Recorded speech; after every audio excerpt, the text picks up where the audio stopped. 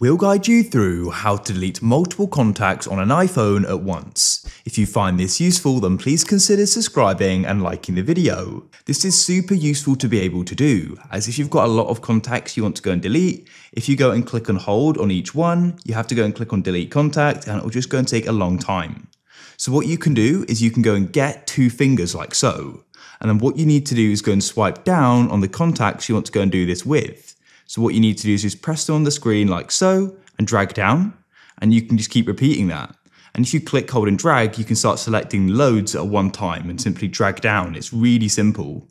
Once you've got them selected, which you want to delete, click and hold your finger on one of the selected contacts, and you can then go and click on the delete button. As you can see, delete six contacts.